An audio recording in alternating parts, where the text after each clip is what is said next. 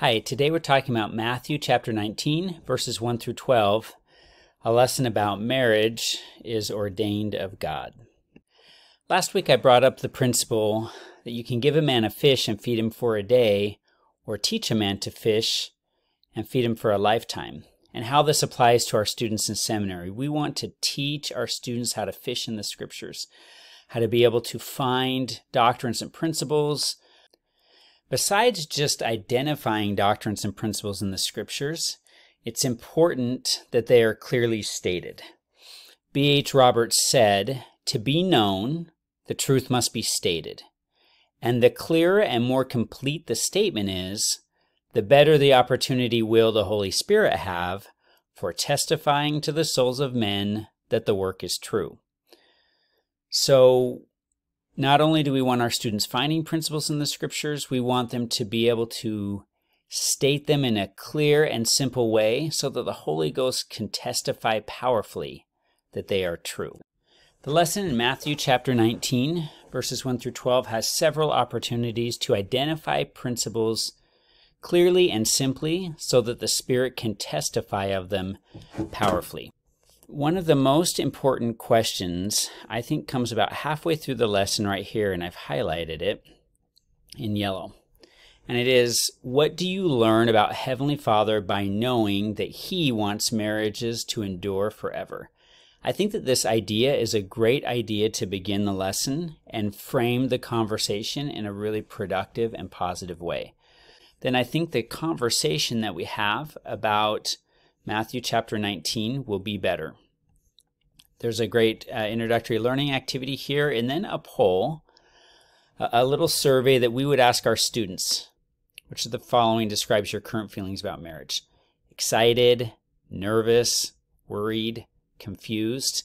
This is a good gauge to see how your students are feeling. And again, it can direct your conversation uh, a little bit later in the lesson about the principles the truths that they're finding about marriage from this chapter. Here is our only scripture block of the entire lesson. Chapter 19, verses 3 through 8. So we're going to read these six verses, mark words and phrases that show how the Lord views marriage. Um, and then here's our question and our opportunity to help our students dive into the scriptures and fish a little bit for themselves. What truths did Jesus Christ teach about marriage and divorce that you wish more people in the world understood and why?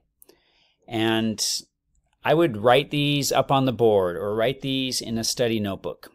There's some really great teachings about marriage here. And then as we go through the lesson, there are some identified principles. Marriage between a man and a woman is sacred, it is a sacred relationship established by God and meant to endure forever. That's an eternal truth coming out of the family proclamation. But there's other principles too, like marriage brings happiness. That is a true principle. And our Heavenly Father has an amazing marriage. I think that would be a true principle as well. Here are some other principles, along with quotes from various general authorities and again, back to that question that we started with what do you learn about Heavenly Father by knowing that He wants marriage to endure forever? After we've identified some of those initial principles from the scriptures, our students may still have questions. They may still have concerns, things that they don't understand. So the lesson recommends using some of the following resources to search for additional truths, think principles, that help answer the questions you or others may have about marriage. And so these principles or, or these resources are the family proclamation, these doctrinal mastery passages on marriage, a lot of them coming from other previous years in seminary. So some of your older students, um, you know, your seniors may have had Doctrine and Covenants, and they may be familiar with some of these scriptures. General conference talks or church videos that teach about marriage. And then something that uh, Brother Judd recommended a few weeks ago is maybe texting a trusted loved one during class that says, Hey, I have some questions about marriage. What would you say is the key to having a happy marriage? And if they send out that text to someone they know and then they get an answer back that they can read to the class, that's an, a way that they can be engaged with loved ones at home and it can really bring some excitement and energy to your lesson. again, as they search these documents and find teachings, add those to the board.